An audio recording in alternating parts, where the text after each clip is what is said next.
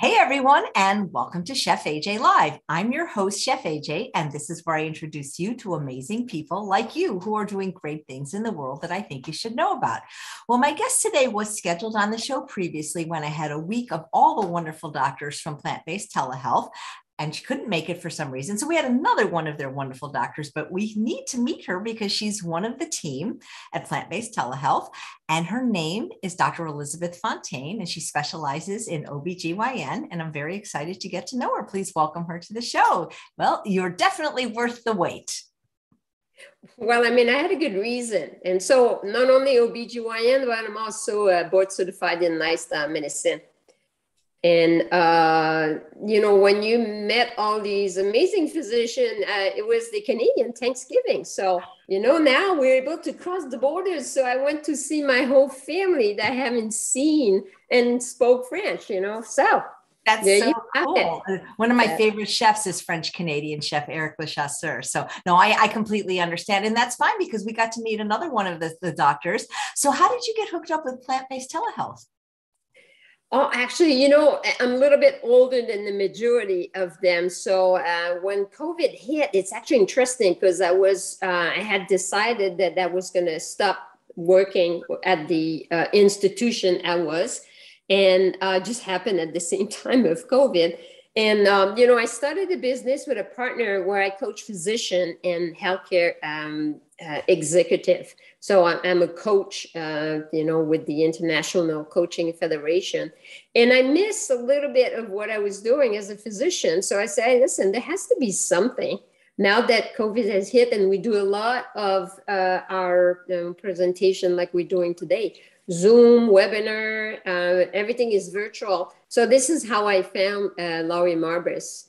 And uh, I was probably one of the first one that kind of joined the group and which we are nine now. So you've met them all. So this is how it happened. So for the last year, kind of regroup all these amazing people, and now we're nine physician. Most of them are primary care physician. I'm the only one that has a specialty uh, above and beyond. That doesn't make big difference, but it's just the way it is. Well, that's fantastic. But when did you become plant based? I'd love to hear that story. So actually, you know what? As an OBGYN, so my background prior to medical school, I, um, I studied what you call here kinesiology. And after kinesiology, I did a master degree in obesity and exercise physiology. So it's always been an integrated, integrated in my practice to help my, you know, patient to stay healthy. And while my patients were getting a little bit older, you know, they were starting to question a lot of, you know, how can I do this? And uh, so I joined actually, interestingly, what we call at the time the, well, it still exists, the A4M, it's the anti-aging uh, group, which is a big group, actually, a physician. And um, just to learn, uh, there's a lot of foundational, uh, very interesting. But they were removing medication to put for people a lot on a bunch of supplement. And I said, you know what, that doesn't, doesn't fit with my philosophy. Nothing against them and I researched and found the American College of Lifestyle Medicine. Not that time. I've been with the American College for, hmm, I would say, a good, uh, you know, since the beginning. The time we were about 200 physicians in the conference. Now we're five, 7,000. So it's growing uh, exponentially. And uh, this is how a physician like me learned that uh, there's a little bit more nutrition that I was not aware. So I met, uh, you know, Dean Ornish, uh, and uh, Caldwell Esselstyn and all their research. And I was at awe uh, to discover that, wait a minute, you know, this, this is, it's not just not eating junk food. it's actually most of what I ate was still not good for me. So therefore, um, this is why I uh, kind of start. Actually, what I did is when I came back to my small community, I challenged a group of 15 of my patients to uh, go for a three weeks challenge on a plant based diet to demonstrate the result. And, uh, you know, it's pretty, I'm sure that you've seen a lot of people that demonstrate result. But in my tiny little community, this was during Thanksgiving. Everybody wanted to kill me. I kind of succeed to convince them just to go on the whole plant based diet for three weeks. and demonstrate the amazing results, lowering cholesterol, moving weight down, diabetes. So it was kind of interesting. So I came home and being uh, the decision of uh, at the time to become a plant-based, which I influenced my family. So you know, most of them, I'd say uh, 90% plant based. There's only one that is fully plant based. My husband is usually pretty good, but uh, so I'm the I'm the one that is plant based. That's how the story unfold. How long ago was that? Uh, so on two, 2012. So it's been almost 10 years. That's fantastic. Have you noticed any changes in you in, in yourself? Well, you know, I have to admit, prior to that, I wouldn't say that I was an unhealthy individual. I was obviously eating still some meat, but not much. Um, so I was already kind of borderline vegetarian and I was uh, very active physically. So I was very careful. Um, so, you know, when you start pretty young to try, and that's why I want people to understand that prevention when you started very uh, young, you know, could make a significant difference. But I mean, you know, going in a plant based, you you feel always the energy, you know, and my numbers on cholesterol that were not excessively high drop again significantly. So my numbers are still even better than a lot of uh, people that I um, have the chance to help. So yeah, you said you mentioned you had something uh, like a certificate or some special training in obesity.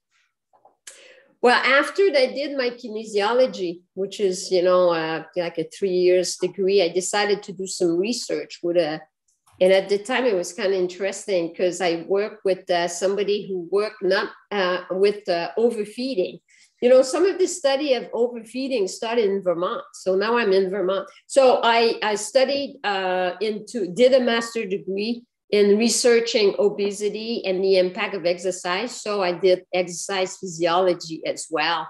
So we had the chance to uh, work a lot into, uh, like my master, what I did was genetic too. So there was a lot of component into that. So my master degree was to train 20 sets of identical and non-identical twins for 20 weeks and show the difference between non-identical and identical. So it was interesting. Nothing based on food at the time.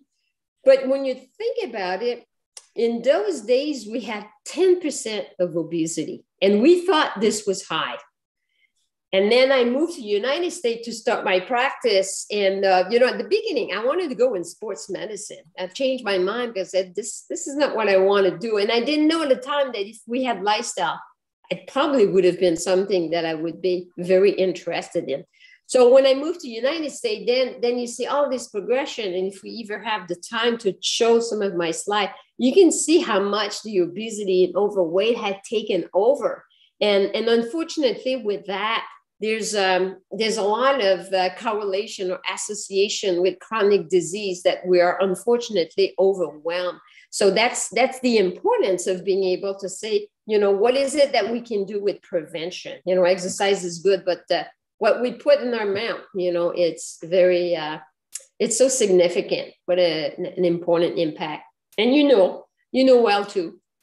So there wasn't any talk about diet or plant based diet then when I was doing my research at the beginning, not at all, not at all. What we we did, like I, I mentioned it a little bit, what we were doing is the impact on identical twins if we were to overfeed them. So we were giving them more calories to see how much they would react genetically speaking. We never assumed at the time that the lifestyle would have such an impact.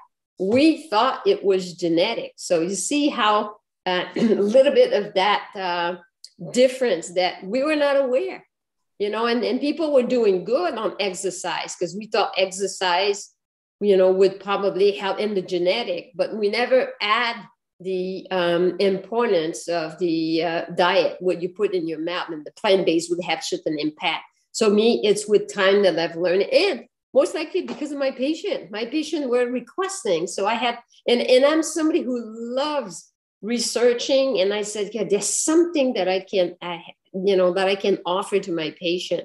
And that's how I landed with the American College of Lifestyle Medicine and the impact of uh, a plant-based diet. That's amazing. And so that's when you decided to get board certified in lifestyle medicine? Well, I mean, it took a while, you know, to, uh, so they were just building. And the American College of Lifestyle Medicine was very early. They were still with the American College of Preventive Medicine.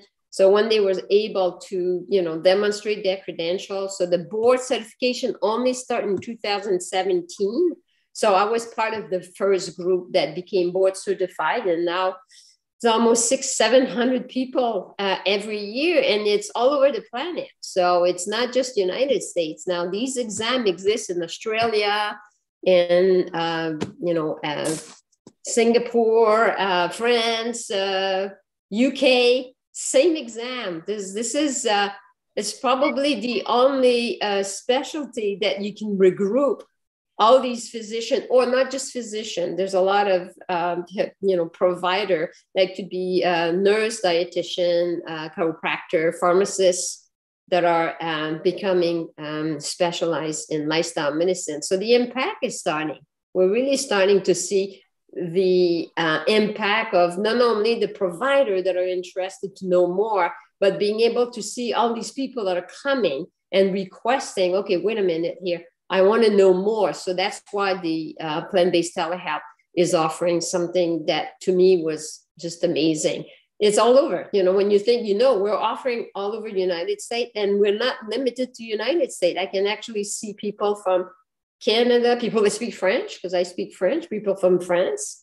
Uh, and and that's uh, and that that will become that will be become a standard where people will be requesting to you know medicine is still good i'm not saying that it's it's wrong but i think that people will still you know kind of demand to um, have the chance to see a, a provider that uh, has a better knowledge of uh, uh, plant-based and lifestyle did you ever hear about a plant-based diet before attending the aclm conference nothing no especially not, not in medicine i was actually lucky because i did my kinesiology and therefore had more nutrition uh, education than the majority of physicians. And you know that the majority of physicians, we really don't have much uh, regarding nutrition at large. You know, that just doesn't even talk about plant based, but it's changing. We're starting to have some nice, uh, um, you know, university that are interested to uh, some of the education that have been offered free free this from the American College. So it's it's amazing. That's fantastic. Did were you ever overweight? Is that why you were interested in obesity?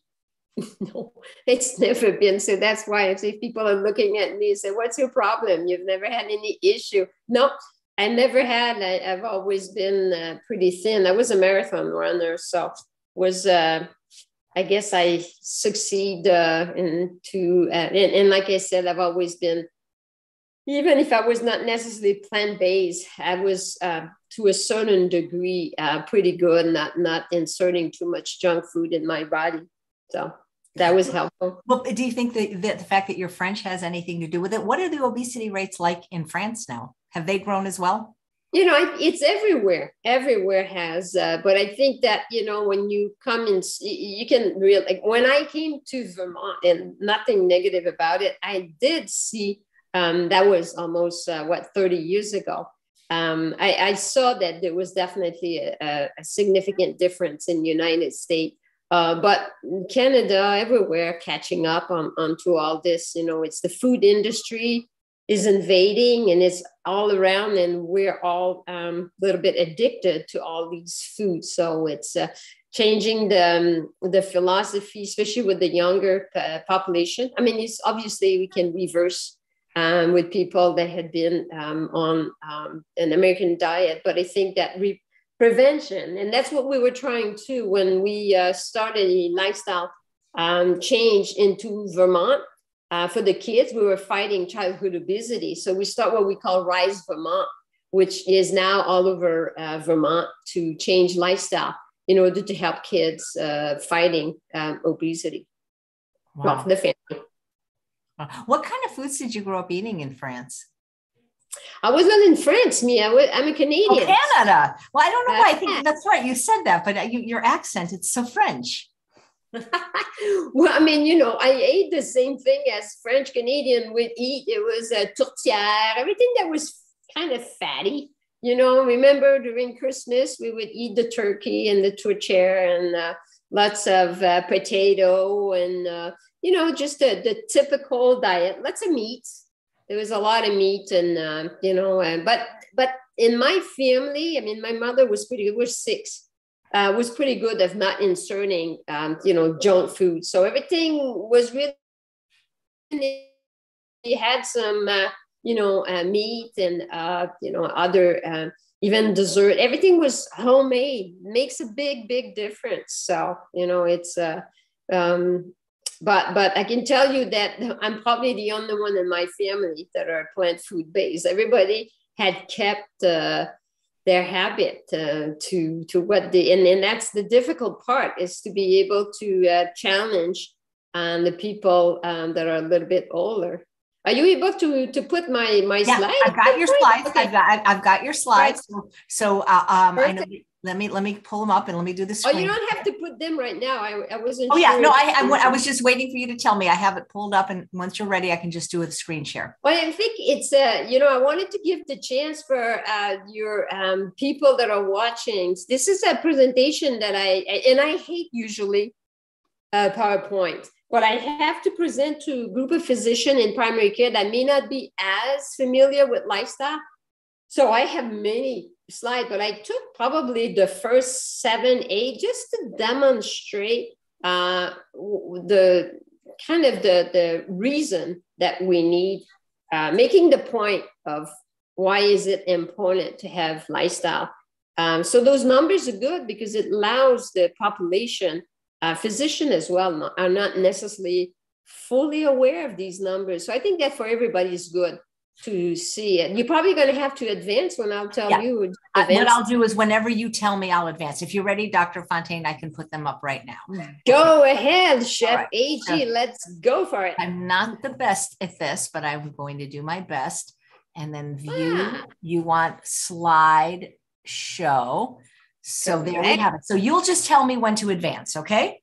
All right. Well, it won't take too too long. So, like I mentioned, I wanted to give the chance to people to uh, realize what lifestyle medicine can do. So, we can uh, prevent, which is probably the most important thing. We can treat and reverse the disease. So, you'd be amazed to see that, um, you know, as the best example is people that have diabetes um, could be taken completely out of their medication and within a pretty short period of time. So this is pretty amazing. But first, let me just show you some numbers that are important for you to know so you can advance the next one. Mm-hmm.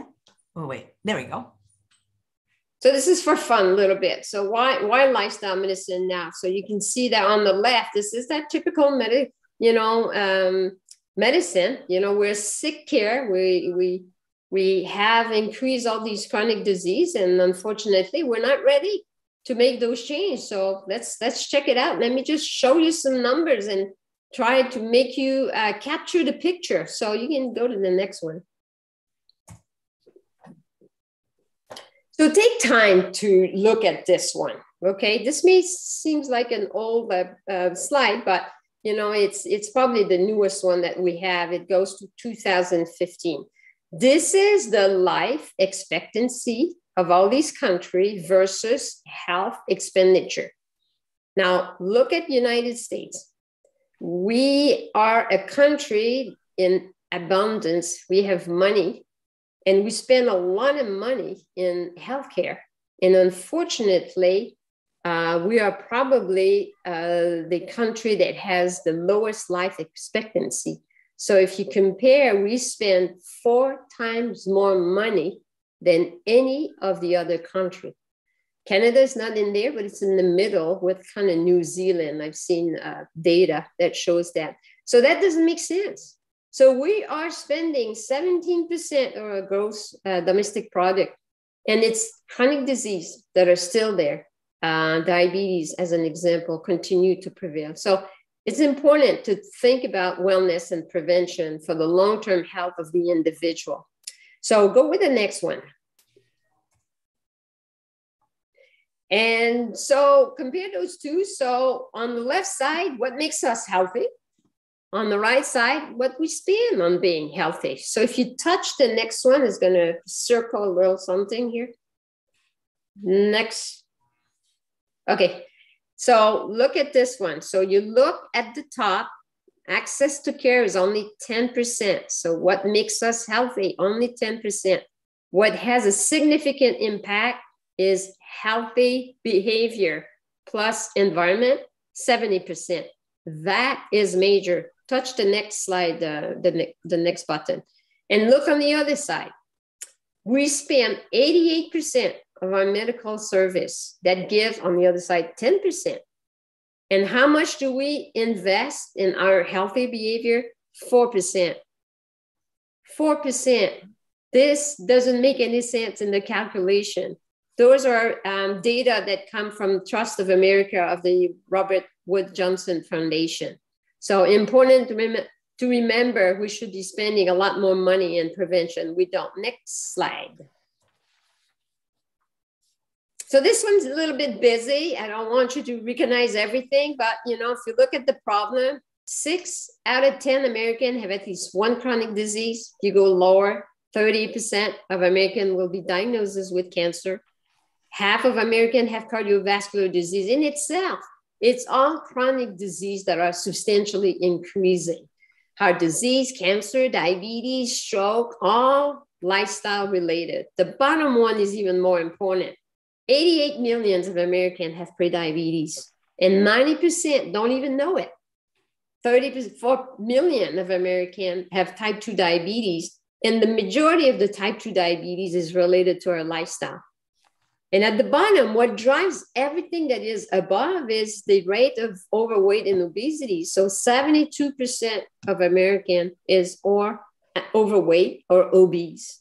So, so uh, and, and then you know on the left side it basically tells the amount of dollar which eventually it feels that nobody understand when you think that we put 3.3 trillion, trillion of dollars every year for diseases that are related to our lifestyle. You know we gotta we gotta try to to uh, to do better.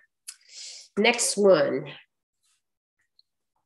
so again, this is another way to explain that, you know, on the left, you have all the risk factor. We said it, physical inactivity, smoking, uh, poor diet, excessive alcohol consumption.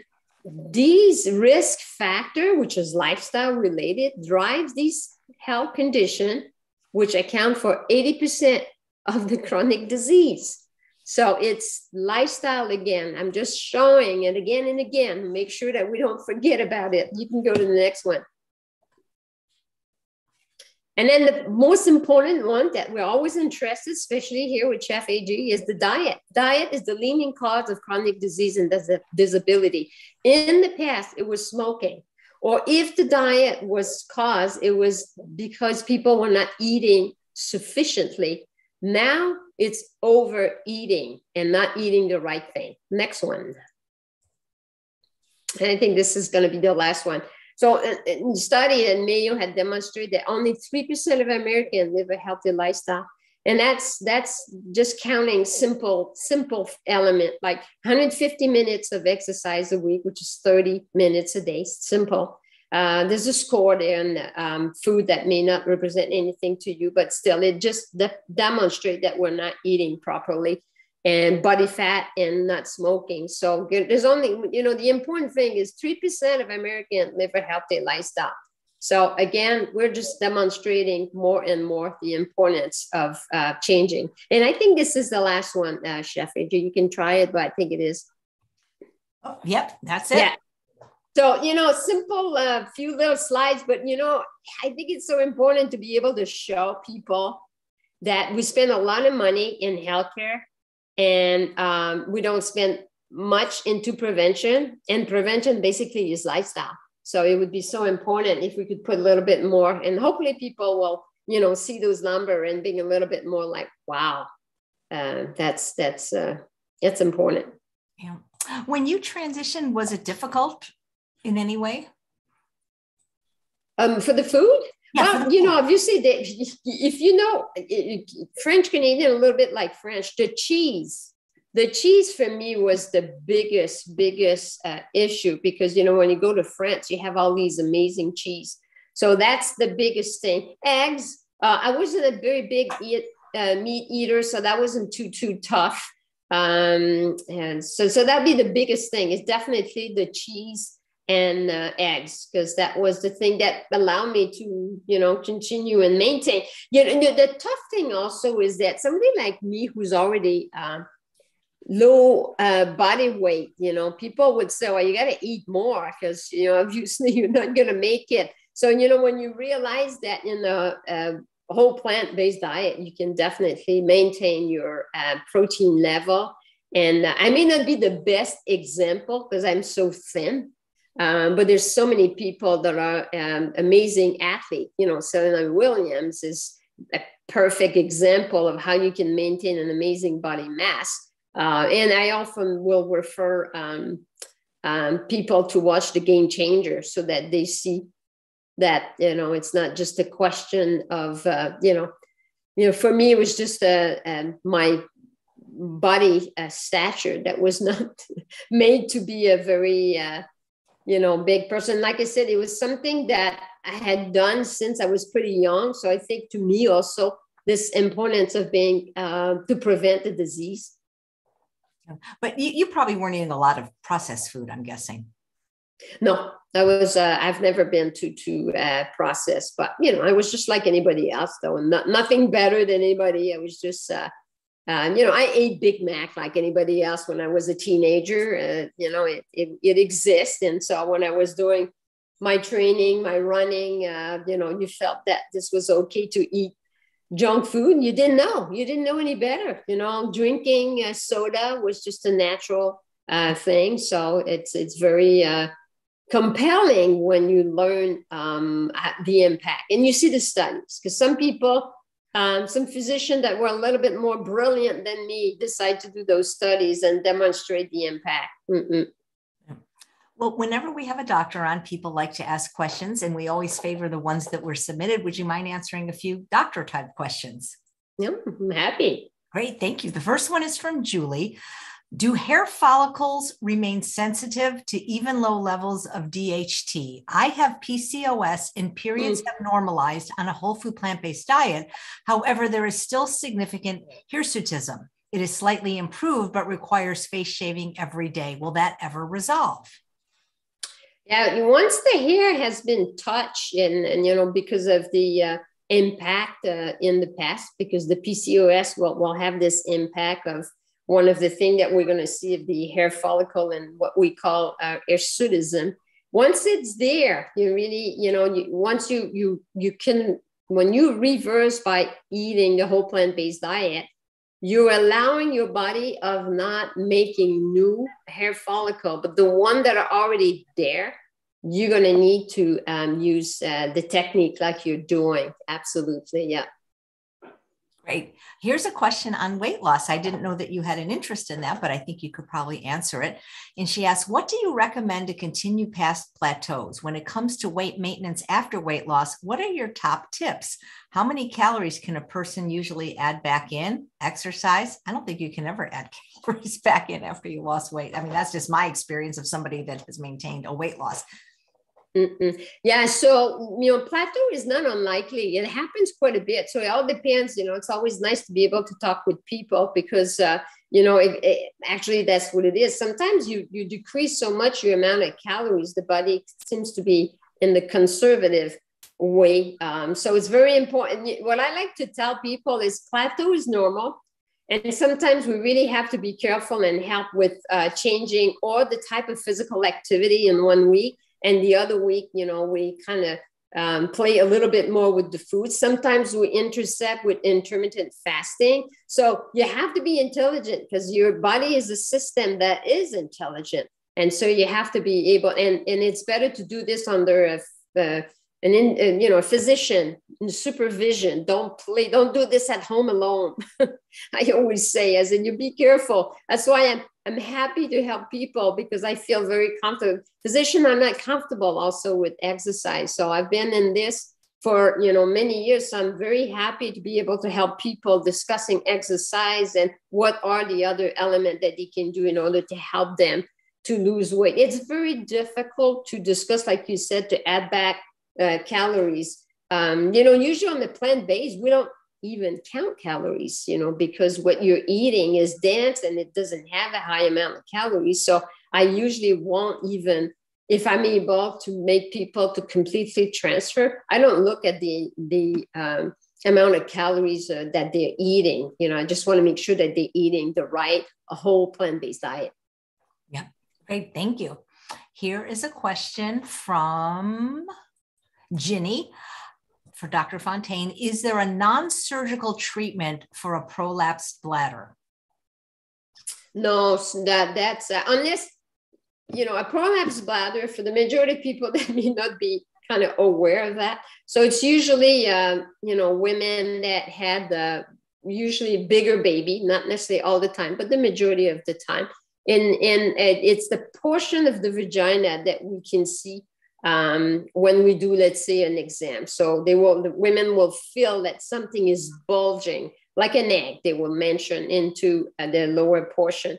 So the majority of the time you're going to need surgery. However, if uh, a person is significantly overweight, um, by losing the weight, they can improve uh, significantly their um, their um, their condition that uh, you know is the prolapse. So it's not for everybody. Some will be having the same problem. The other thing that is feasible to do, depending of, and that is easier to do under exam, we can do an insert into the vagina what we call a pessary. So it's not anything plant based, but you know it's functional for a lot of women. They don't have to have surgery. So it's like a little donut that you insert into the vagina that holds everything. So I'm sorry to have these discussion, but that's that's the kind of solution. And I had quite a bit of patient that were using that that would prefer that than having a surgery. So it's a simple little tool, a pessary. Are you still doing these procedures or are you just doing telehealth right now? I'm just doing telehealth. I've, I've given up OB as well as doing uh, GYN uh, as well. But but I do see a lot a lot of patients that I see at plant-based health are usually women that have some condition that they want to discuss uh, regarding what you just said, PCOS, helping with heavy bleeding. We know that plant-based health can have a significant impact on helping women, especially around menopause, can have such an impact. Um, so in prevention of osteoporosis and, and and you know the, the women have a tendency to think that these conditions you know i don't need i'm not supposed to see a physician for that especially plant-based. Well you know this this is what we need to change. Women it's very important. We can help the transition. We can improve substantially your health. And i'm not just only looking or even all the physician it's not only looking to improve the condition it's optimize optimal health. So including checking the um, you know exercise, stress, sleep, um, to make sure that and your numbers, obviously your lab numbers, to make sure that um, we help you the best we can. Great, thank you. This is a question from Monique. I've had two rounds of pelvic floor physical therapy, have used Estrace cream and lubrication, and sex, sex is still so painful that I don't even want to do it. I'm 62 years old, 30 years on a whole food plant based diet. What are my options? Yeah, on that though, you know, we know with menopause that the lack of estrogen will uh, produce into the um, the, the, what we have in the vagina is not a skin, it's mucosa, and the mucosa needs to have estrogen to remain lubricated. So the plant-based will not make any difference into that. The question here would be, can you use something that can help with lubrication when you are ready for sexual activity? And as an example, it's one of the places I don't mind using oil. so uh, coconut oil is fine and that could be very helpful in preparation so that makes it easier. And the other thing is you know like she mentioned uh, locally to have to use some uh, estrogen for women that are significantly impacted they can't have sex uh, due to the discomfort due to atrophy. That's something that you know sometimes i definitely and in at large i think that lots of women have their um, knowledge uh, you know there's so many misinformation regarding hormone. It's probably the worst thing that i can hear. So i said listen please come and talk to me so i can help you to make a, a decision. I'm not saying that i'm going to put people on hormone but I, I want to be able to discuss with them so that they understand what they're doing. What states are you licensed to do the consults in so I'm licensed in Vermont, Michigan, Florida, and New York. Uh, I also West Virginia and pretty soon Kentucky. So it's smaller states, but uh, and and obviously anywhere else uh, outside of United States. Hopefully, United States eventually will just make it easy for physician to practice in uh, all the state. But it certainly had been a little bit easier during COVID um, some states have been uh, amazing to allow us to practice in some sort of an emergency situation uh, where we can do telehealth. So um, those are the uh, those are the one I'm in. Do you ever wish you had known this information sooner when you were in private practice? Oh, absolutely. Oh my gosh, this was it. You know, I, I was mentioning to you when I decided to go in medicine, I thought I was going to go in sports medicine, but it really didn't wasn't what I was interested. What I was interested, I didn't know exist in the future. It was lifestyle. That was definitely what I would have liked. Absolutely, absolutely. Such a and, and hopefully I can uh, influence more um, physician to understand the importance uh, and being able to help them. You know, you can't can't imagine how much work these uh, primary care physicians have to do with, unfortunately, uh, people that are coming with multiple chronic condition um, and, and that's why I'm a coach for the physician. They're burned out. And they're, they're burned out because they didn't sign up to take care of uh, us with multiple chronic disease. So it's a prevention, helping to decrease that will have a huge impact on our doctor as well. So yes, I wish I had known all this long time ago. Hmm. There's a question from a live viewer about symptoms of menopause and can the whole food plant based diet or any certain foods or any other things help? Absolutely. There's uh, actually, we didn't have many studies yet until Dr. Neal Barnard from the uh, PCRM had published in Menopause uh, recently an article where they studied a group of, this is uh, um, with a control group, which didn't have anything. The other group uh, was whole plant based and add a half a cup of soybean that were cooked. And after 12 weeks, there was a significant uh, decrease of their hot flashes, almost 70 to 80%.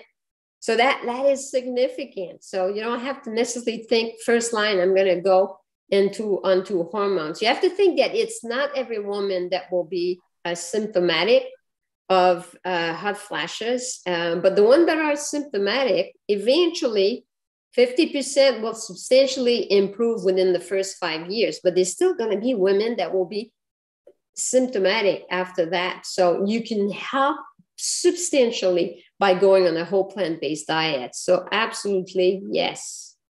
Fantastic. Lisa says, can it even help reverse arthritis?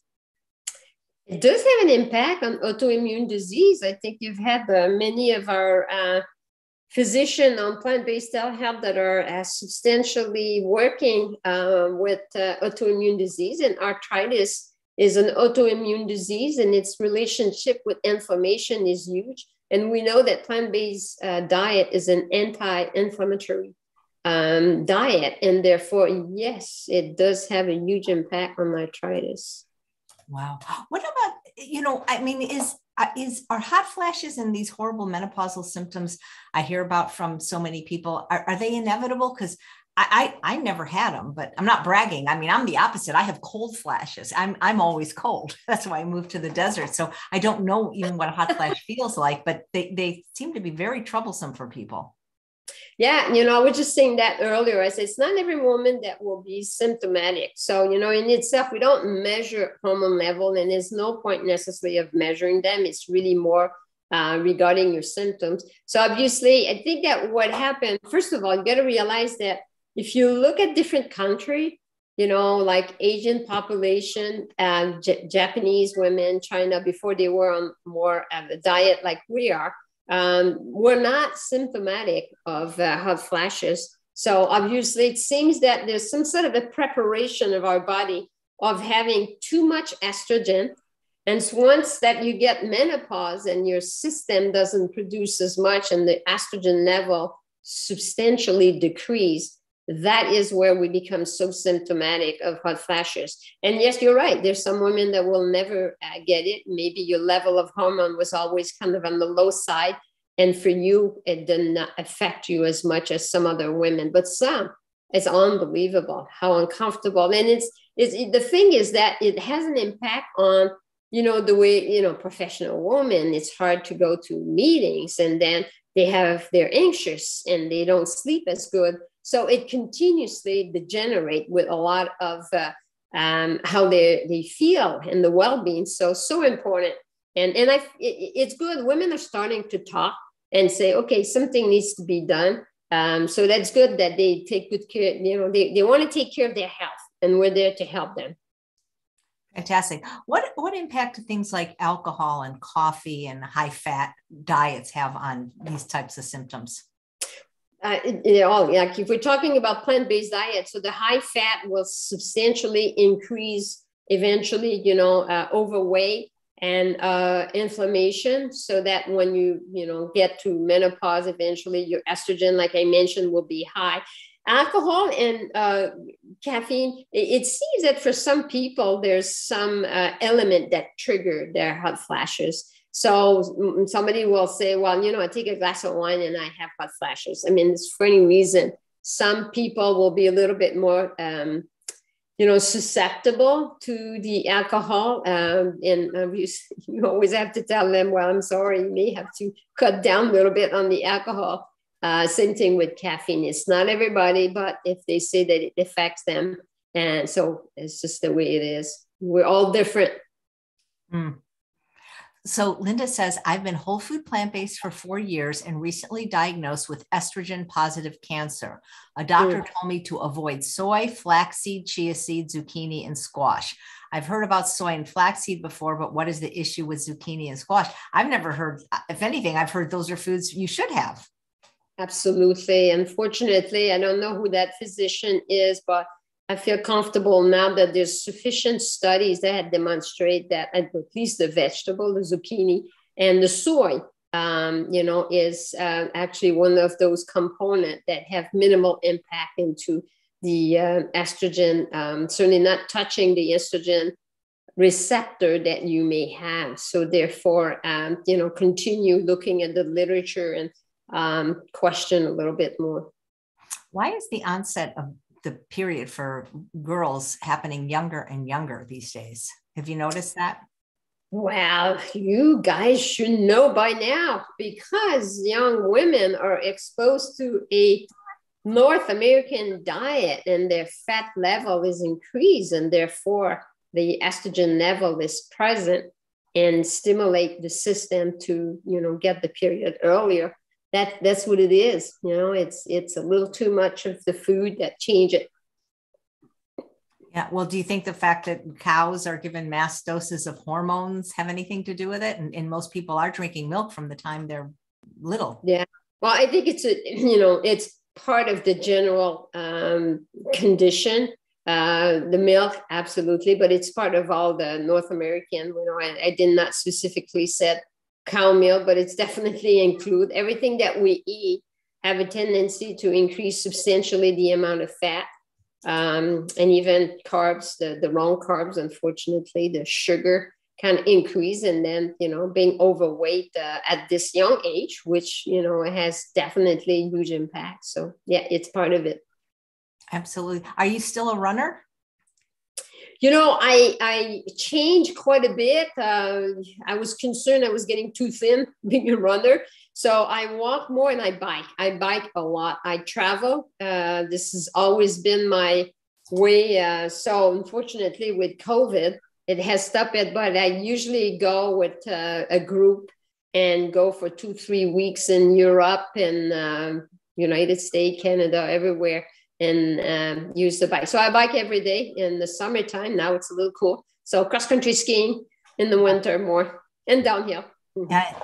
So you mentioned in, in everything you said, I put in the show notes and in the chat. You said you're licensed to treat non-Medicare patients in certain states, but if a Medicare patient wanted to pay out of pocket, you could see them, right?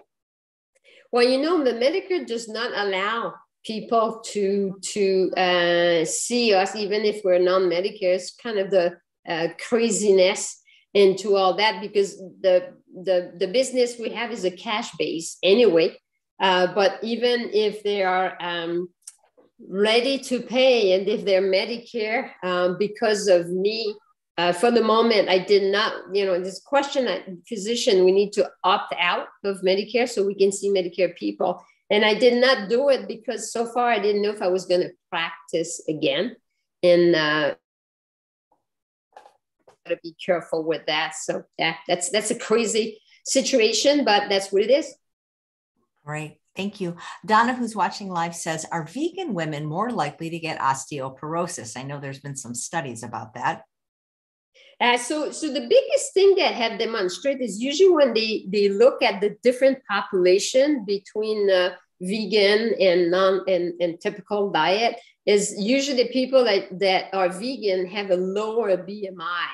So a higher BMI, being overweight on this, I'm not encouraging people to eat a regular diet just by a higher BMI, but it is to a certain extent a predictive factor. Uh, and that's why most of the studies have demonstrated that. Uh, there's still a lot of studies that are going on to try to obviously, if there's any place where the food industry wants to prove that we're wrong, is into the osteoporosis where they want to demonstrate that you have to have you know the calcium that are in the milk as opposed so you know lots of uh, um, difference in opinion but once you remove and you put the same weight uh, um, from as an example population in asia uh, that um, are completely plant food based their bone mass is better than ours so obviously there's there's something else um, that is uh, playing there yeah, that's something. Mm. I just saw a question. Was a good one too. My, my chat moves kind of. Oh, here's one. Laura says If someone hasn't been to a doctor in many years, what tests will offer the best measures of what's going on, such as inflammatory issues, mineral deficiencies, and overall health?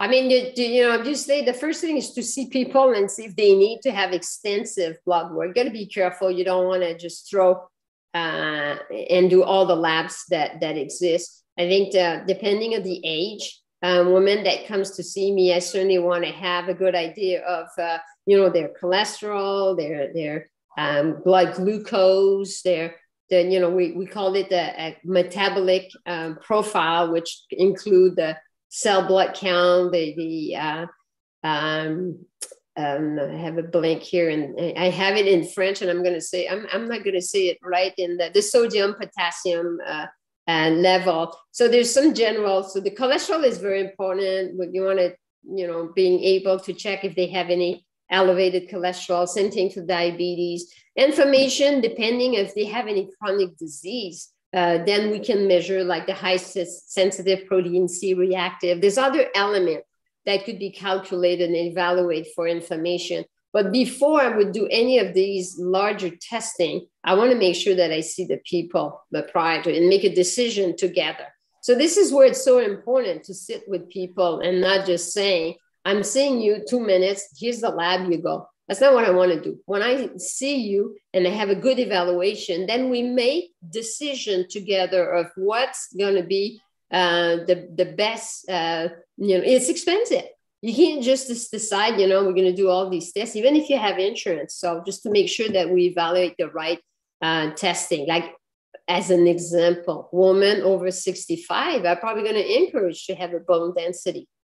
Uh, mammogram, big, big question for, for many, many years. So more after age 50. And even that some uh, studies demonstrate that it may not be as good. So here we are, women that has always been thinking that mammogram was an important test. So things are changing. But again, it's really a personalized approach. what about pap smears once you're in your 60s? I mean, if you've always had a negative one, do, do we have to like keep going the rest of our life? I hate them. Yeah, the indication had been changed uh, significantly many years ago Um, so if you've always, uh, now we do pap smear, especially if it's negative, no more than every five years. And after 65, uh, done, done if you don't have any previous uh, history. Um, I never thought I'd be so happy to turn 65 in a few years because that means I get Medicare and no more pap smears. I'll celebrate. That's something to look forward to.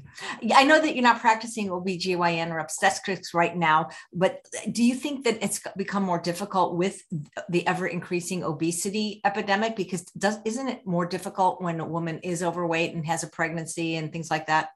Absolutely. All the condition that you can see, um, um, you know, that complicated pregnancy, uh, gestational diabetes, uh, uh, preeclampsia, which is high blood pressure with uh, um, pregnancy, difficult delivery, higher risk of uh, complication during cesarean section, um, larger baby, uh, many, many of the risk related to obstetrics are often amplified significantly uh, in relationship with uh, um, overweight. And, and sometimes it's not even overweight, just the fact that they don't eat the right thing, the inflammation uh, that it's causing has an impact and, and put them at higher risk of some of these conditions. Right. Thanks. Uh, Vicki says, are there any natural remedies or treatments to help shrink fibroids? I've heard of one, water fasting. well, you know, so fibroids are, are um, it's a little growth that you have on uh, your uterus. Um, and uh, women that has a higher level of estrogen will have a higher risk of having, you know, those fibroids. They could be very, very tiny and not necessarily having any significant impact. They could be pretty large as well. And usually, or they're going to be large and cause some significant discomfort, or they're going to cause some significant bleeding. I just wanted to throw it out there so people knew what it is. So, therefore, if you also go on a plant food based diet, what are you doing? Plant based diet is an anti inflammatory uh, diet. And by taking an anti inflammatory diet, you substantially decrease your level of estrogen, and therefore you're helping with the fibroid. Now, again, you always have to be careful. If you're talking about a huge fibroid, plant-based may not be as helpful, but smaller one that are barely causing problem, um, they can do pretty good. Wow, that's fantastic. What about painful periods? What causes them? And will a plant-based diet help people that have dysmenorrhea? Absolutely. So dysmenorrhea is caused painful period is caused by an element inside the uh, uterus that, uh, you know, every time that we have our period is what we call, and I may not say it well in English, is prostaglandin. So the prostaglandin are the reason of causing the, the pain. And prostaglandin are usually stimulated by higher level of estrogen. So, you know, the plant-based uh, diet will have a substantially uh, impact on reducing the pain. I've seen it very well. And if not, um, you know, I try to make sure that people understand that prostaglandin and anti-prostaglandin could be uh, used, which is something like uh, ibuprofen, starting um, a day uh, before their period. But ideally, I prefer to insist and encourage them to, um, you know, change their diets and so that they can see the impact. So it's all these things could be substantially changed with a, a whole plant-based diet. Oh, all good question, all related to my field. So that's perfect. No, well, that's right. Because we we send out in a week in advance who's going to be on the show so that that they can Ah, so they know. Okay. Yeah, good. right, right. And then some people are also asking questions live. What do you like best about working for plant-based telehealth? Uh, you know, first of all, the group, the group of physicians. Uh, I've never seen such a uh, unique group that really wants to um, we're all hoping the same thing. We want to help the people to improve their health. So that that's pretty amazing to feel um, so um, so welcome every time we have a meeting. Um, and um, you know the amazing thing for me is now i can see people from different state. I wish i was um, you know united states would allow me to see people all over the state because i can be at home and or in an office and being able to talk to somebody who's in uh, California, uh, somewhere in Canada, somewhere in, Iceland. this is what it's so amazing. Uh, and uh, and they're doing an amazing job. I have to admit to uh, start marketing, but giving us the chance to participate in uh, podcasts like you, just to give the word out there to say, here we are. This is what we're doing, and we want to help you to improve your health. And again, I think that's so important to make them realize that it's not just health; it's really optimal health. We want to optimize um, to make sure that uh, you know you feel good. Wow and you can do it in your pajama bottoms too. I'm not going to show you what I have in bottom. people, if people only knew what I how I was dressed from the bottom down for this last year and a half, slippers and you know, uh, especially in the summer. The summer is like short and uh, but hey. And I mean, for today, I just wanted, we don't see it, but that's my shirt of plant based oh, So I just wanted to. Uh, Since you guys, you guys are in all different states, how are you going to have a Christmas party? Well, you know, that's the only biggest disadvantage. We cannot be together, but we already, uh, like today, we had, uh, you know, we're starting having a webinar for the, um, you know, people that just like you want to be present. So we talk already of, you know, what is it that we could be eating during uh, the uh, Christmas time, uh, just to help people. So we'll uh, probably just chat online, and uh, that's just the way we have to adapt with the situation. Hopefully, one day I can see them face to face. That would be fun. Maybe at a conference, who knows? Uh, Tracy, who's watching live, says My 30 year old daughter only gets two to four periods a year since she started at age 17. She's changed to a plant based diet for six months and it hasn't changed. Yeah, well, you know, that depends also. It's important to be able to see the individual. So some people miss their period because they're too thin. Like as an example, the extreme is usually uh, gymnasts will often will have their period or or overweight. So that makes it so that the ovulation you know what your ovary produce every month is ovulation and it's a it's a perfect orchestrated system to allow to have a period every month.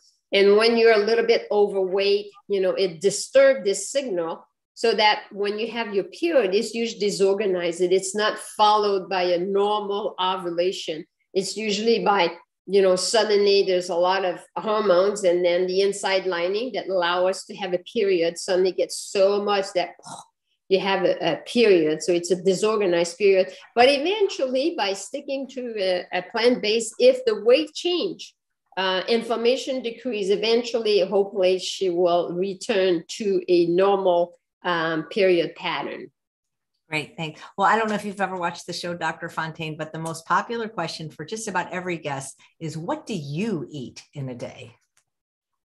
Ah, so uh, in the morning, um, I will eat uh, oatmeal and uh, I'm going to put some uh, blueberry, raspberry, and nuts, a little bit of maple syrup. I'm a maple syrup girl. You're um, from Canada. You have to. That's that's one thing. What's one thing I love? Maple syrup. And then I'll have a whole, uh, my husband does make amazing bread. Um, so bread with, uh, I'll, I'll, have a little bit of peanut butter and a banana. I usually have that for breakfast.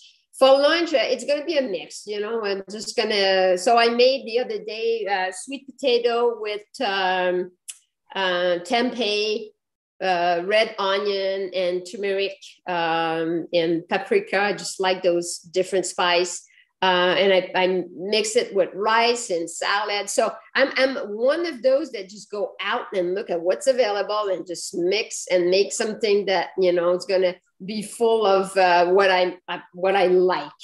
Uh, and then for dinner, well, depends. You know, it's like tonight, most likely a huge salad with lots of um, leafy green vegetable and um, you know uh, sometimes quinoa mix it with, with rice and different grains. And in the winter when when it becomes a little cool in vermont i would have a tendency to make a lot of uh, amazing soup where i put all the vegetable that i have left inside my uh, you know fridge or a chili. I totally love those uh, bean chili. That's just uh, amazing. So just a little example of what i do do you use the Instant Pot? Yes, yes, yes. It's very efficient. I really like it. Uh, uh, but you know, on on enough. Sometimes yes, sometimes no. Oh, there's a question. What are your favorite kitchen gadgets? My oh, I love those um the small processor. I, I love learn cutting. I really have good knife and I've um, you know take time to learn the technique so that I uh, don't lose it. But I love the um, uh, the, the very small processor, not the big one, so that when I have I'm making my food, I can just drop into it and make my onion, my garlic, my vegetable being ready so that, you know, if you want to do a, a, a, vegan spaghetti sauce, it doesn't take forever to cut all your vegetable. So that's what that's that's my preferred one. I call I call it Oscar. Oh, nice. Oscar. You know, here's a question I can't answer as a doctor, but I actually can answer it as a patient, and then you'll tell me your thoughts from Trent. My wife, who is turning 51, never had children and is generally perfect in all aspects, has terrible period headaches that can take her down for two or more days, usually at the beginning, sometimes at the end. Any suggestions? I had that in my 40s and they did a procedure called an ablation, and I loved it because I never got another period and I never got another headache. Yeah, I did a lot of ablation. Uh, it was, you know, obviously I'm an old physician so it started into my practice when I, I don't know, had practiced maybe 20 years before it came in. Um, it, it's interesting that it would touch the headache, but you know, it all depends how you feel. Um, it, uh, lots of time used is to help with the significant bleeding. Um, and the hormones, our hormones that have a significant impact. So at 51, you would think that the majority of women hit menopause around uh, 51. So she should uh, see a, an improvement pretty soon. And I don't know if she's whole plant based, but it's not a bad time to help her with that as well. Um, let's see if he says she is. Um, yeah. Um, yeah. Uh, Trent, if you're still there, it, what's her diet like? So, yeah, interesting. So, very cool. Uh, Look at that. How many? Uh, I, I, think that this person must have came in late because they're asking how many pounds you lost on a plant based diet. You were already slender, I think, before you started. You said. Correct. So, so I'm a I'm a boring one. Yeah, it must be nice, like my husband. You can't relate to the rest of the world. Sorry. That's okay. Well, it's such a pleasure getting to know you, or as they say in France, enchanté de faire votre connaissance. My accent. Ah, moi de même, ce fut un plaisir d'être euh, à votre émission. There's nothing more sexy and beautiful than a French accent. well, well thank, thank, you so much, Dr. Fontaine. And oh, my pleasure. If you live in one of the four states, you can see her virtually. And if you live in a different state, she has lots of colleagues at Plant Based Telehealth because they're certified in every state. At least some of the doctors are. I know Dr. Marbas, I think, is all of the states. Thanks so much for watching another episode of Chef AJ Live. Please come back tomorrow at 2 p.m. Pacific time when my guest is Nick DeVorn from Local Spicery, and he's going to be making sauces. Take care, Dr. Fontaine. Bye bye. Take care. Thank you.